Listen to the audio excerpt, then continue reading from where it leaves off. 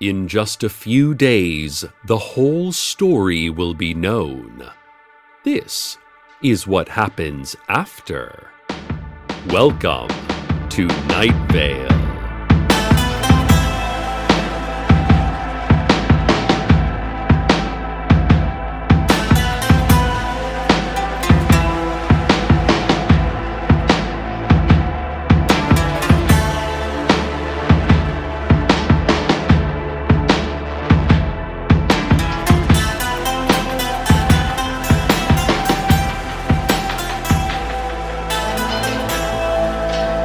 The last couple weeks, as we all know, have been eventful ones.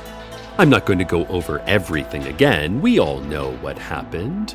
We are well read, well informed people who have paid attention to the whole recent King City affair.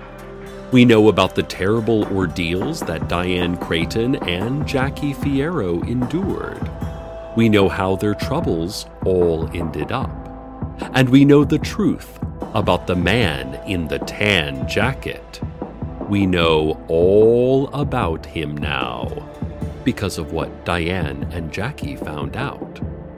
So, I won't go over all of that.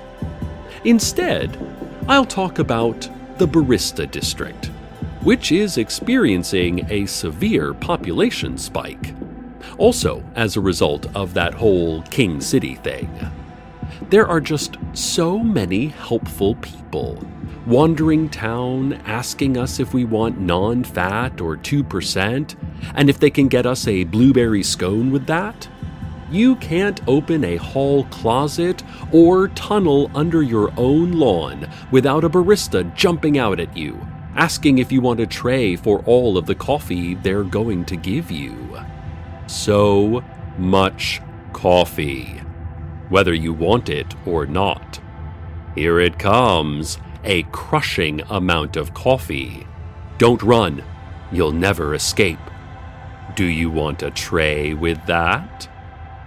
More on this ongoing aftermath in a moment. But first, the news. The government released a statement Friday disavowing knowledge of any events which resulted from a recent gardening supplies sale that they may or may not have been involved with.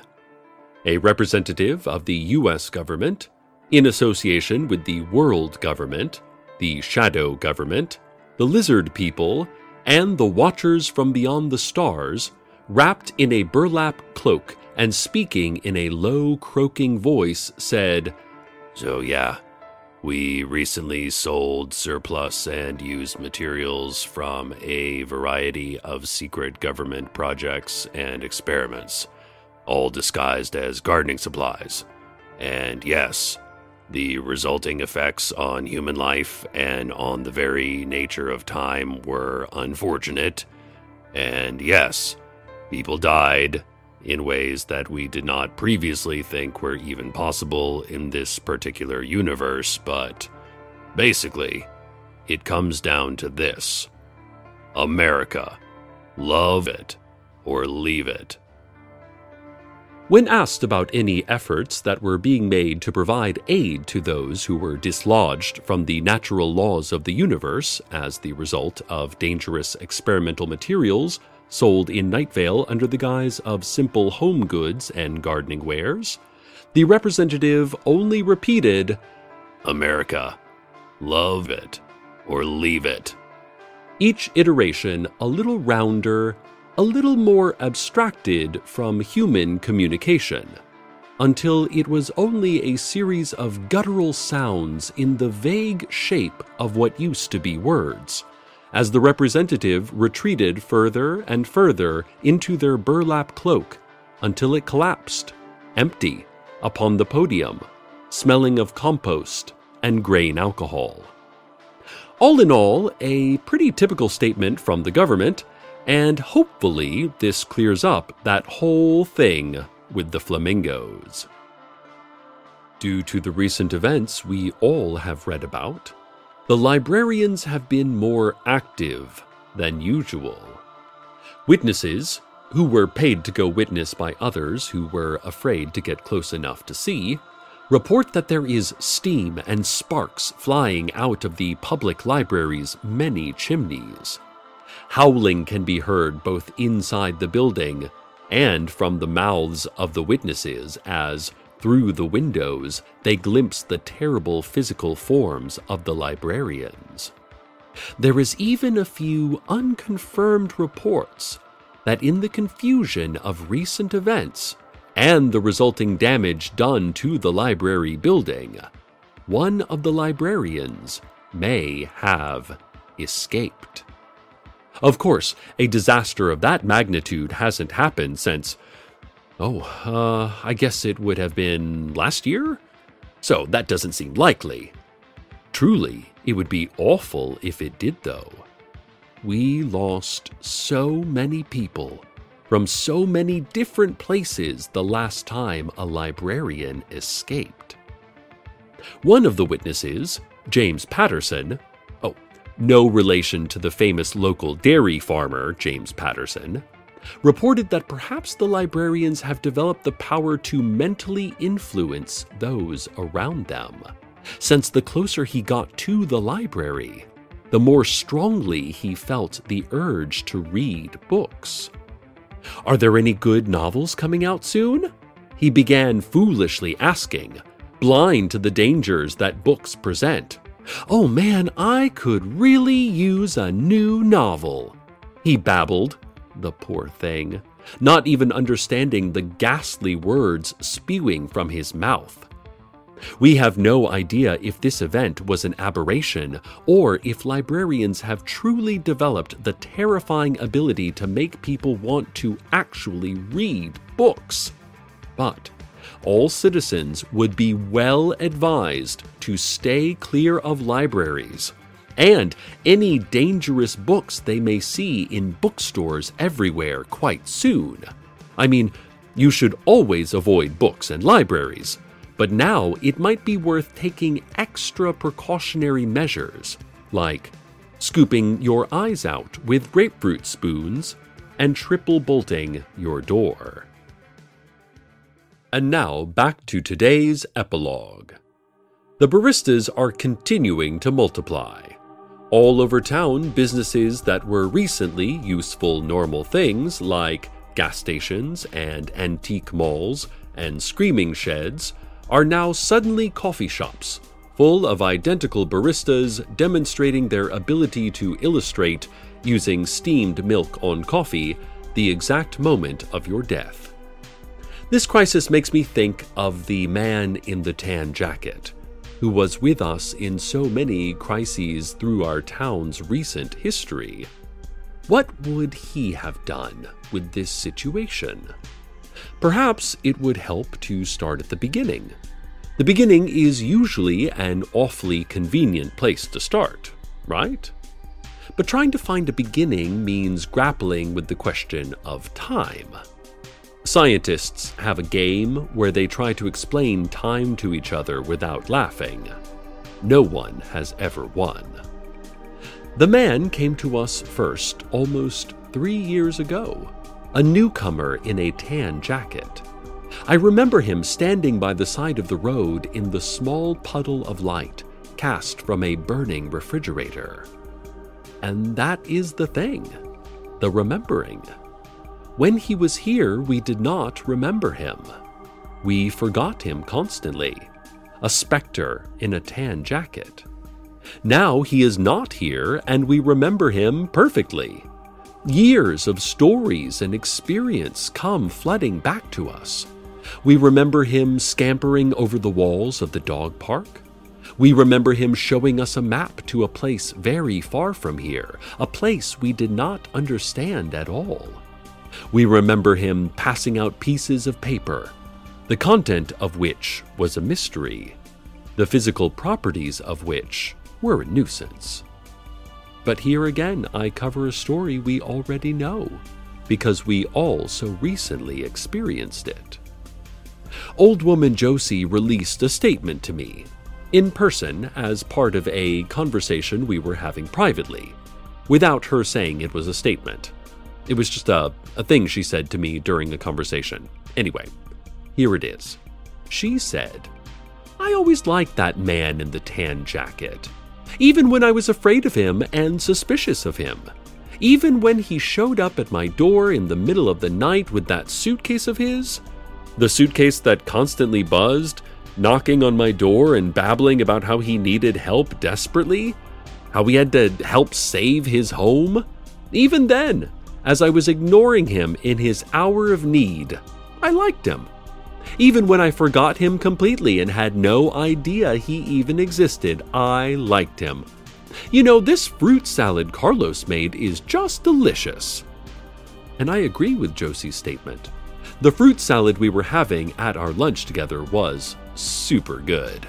And I wolfed it down, even though I've been trying to cut back on my meat consumption lately. I got a little sidetracked there. To get back to the point, we're all likely going to be destroyed by an endless stream of baristas, which is, of course, a direct result of the recent events involving Jackie and Diane. So, there's that. Listeners, looks like we're in need of a new intern. Intern Danielle has stopped coming to the office. I mean, Danielle had all these crazy conspiracy theories about how radio interns are doomed, so she wanted to stay inside and focus only on computer work. She steadfastly refused any field reporting assignments. So, I complied with her wishes and let her run our social media accounts, which I thought would make her happy. But a few weeks ago, after giving her the simple and fun job of taking pictures of Khoshekh, our radio station's live in cat, for our official station MySpace, as well as to my personal Google Plus and Snapchat accounts, she just stopped coming to work. I guess she just didn't have it in her anymore. But listen, if you're more motivated to learn about a career in radio than Danielle, we'd love to have you come intern here at the station. All you need to do to become a community radio intern is not run away when station management surrounds you outside your home shouting, This one is next! This one is next! And now, a word from our sponsors. Um, personally, I find the content of this ad distasteful, given my earlier warning, but I'm informed by station management that I have to read it as written. Here goes. Many of us like books. None of us like to admit it. We know that reading makes us deviants, perverts, freaks. Many of us might say on the radio, for instance, that books are dangerous and should be avoided. Even thinking the words, I like books, to ourselves makes us shudder with a secret shame. We know that we should only be reading government pamphlets and the prophecies on the back of cereal boxes. But again and again, we find ourselves returning to the dark sickness of literary language. Who among us can say that they do not have, buried in a box of linens under their bed, a well read copy of Brand New Ancients by Kate Tempest, or a collection of Annie Baker's Vermont plays? Given all this, should we band together, deviant with deviant? A deviance so natural that it is no deviance at all, but an ingrained motion of the heart a secret desire so common that it is no more secret than the sun? Should we begin to admit together that we all sometimes like to touch and read books? No, of course not. We should be ashamed and hide our love of books from each other, heaping scorn and hypocritical anger upon anyone who dares to reveal that they have the same desires we do. Harper Perennial. All of our literature is shipped to you in unmarked brown paper wrappings. Charges will appear on your credit card statement as definitely not books. No one has to know you are a book reading freak. This has been a message from our sponsors. Ugh. Books. The population of the Barista District continues to grow, doubling almost every hour through no means known to modern science, antique science, or reverse science. Carlos is working on a solution, but in the meantime, townspeople are overwhelmed and scared by the coffee options suddenly available to them. They are screaming, they are screaming and running away.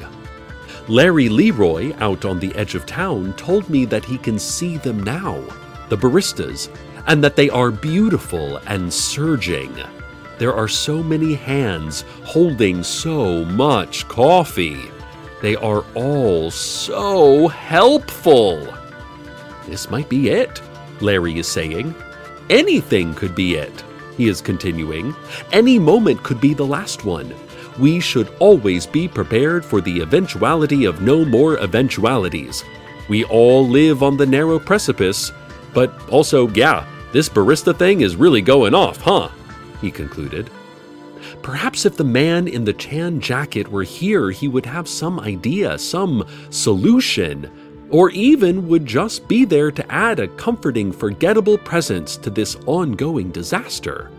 But of course, he is not here, and we all know why. We all know who he really is now. Oh. Oh! Carlos is texting me. He. Oh. Okay. He says that he has a solution to this whole barista thing. Oh, hey, that's quite clever. And it also takes care of that other problem. You know, the one I don't even have to explain to you right now because it was so frightful and all consuming and fresh in our memories. Okay, while Carlos does his clever plan, I'll do a clever plan of my own, which is taking you to the weather. And now here we are, in the after. Carlos's plan, well, we read about what it was and how it turned out. No need to summarize here. What do we do after such huge events have transpired? After the ones in danger no longer are? Meaning either that they no longer are in danger or that, in an existential sense, they just no longer are. Well, I'll tell you what I'll do. I'm going to go bowling with Carlos. League night is tonight, and we've gotten the team back together with old woman Josie. Of course, she can use her left hand again now, now that this affair we've been talking about is all over, so our scores should be up. And what else? The sky, of course, always that. Let's start there and work our way down to Earth. Other cities, other places this city, this place. I imagine that soon this town will settle back into the routine of its existence until a new peril arises again soon. Like a heartbeat, a sudden violent movement, and in between, a lull. In itself, a rhythm, a counterpart, the silence between the beats. Night Vale in a lull the doctors at the hospital going about their mysterious routines, the pawn shop, its name changed now, of course, after what happened recently, the office district, and, oh, it looks like there is a large family of tarantulas heading there now, and they do not look happy. I would hate to be whoever it is that they're looking for. The Moonlight All Night Diner, where I'm sure Steve Carlsberg is going to stop by on his way home for a slice of invisible pie. Our mayor, Dana, getting ready to finish her work. Carlos's lab, where he is also finishing up his work. See you soon, Carlos. And and something else. Over a housing tract across town, I can see a dot in the sky floating high above one of the houses, twirling and soaring higher. I can't quite see what it is, but it's lovely. In any case, an entire town swinging back to the normal, getting on with life in the after. After all of the things that we all now know happened. All of us. Except, of course, one person. A person missing. A person who we all missed. A person impossible to remember. A person now impossible to forget. The man in the tan jacket. And what next? Well, I think there may be other people, other stories to tell. We are each of us a vast story waiting for someone to tell it. Stay tuned in just a few days, or depending on where you are in time, any day you decide to get around to it, for a 401 page factual report about the events that led to this epilogue Available in hardcover, ebook, or audiobook from your favorite factual report retailer. In the meantime, from after the whole of what you haven't yet read, good night, Night Vale. Good night.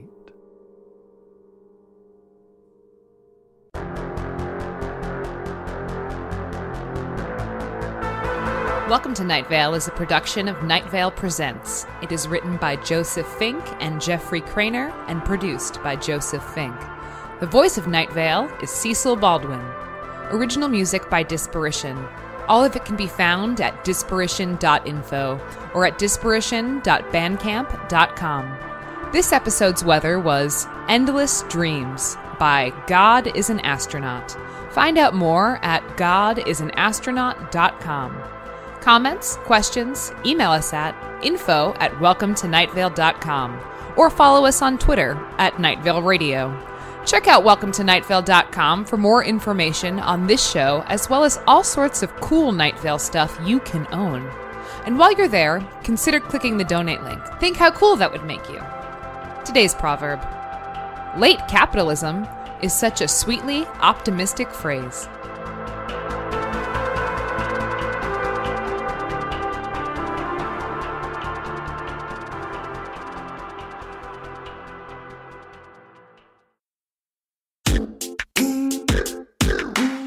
Of the most common questions my writing partner Joseph and I get asked is, How do you write together? My response is usually, You know that scene in Ghost where Demi Moore is spinning pottery, and then Ghost Patrick Swayze comes up behind her and guides her hands as she closes her eyes and rolls her head back onto his shoulder? It's like that, but with a MacBook.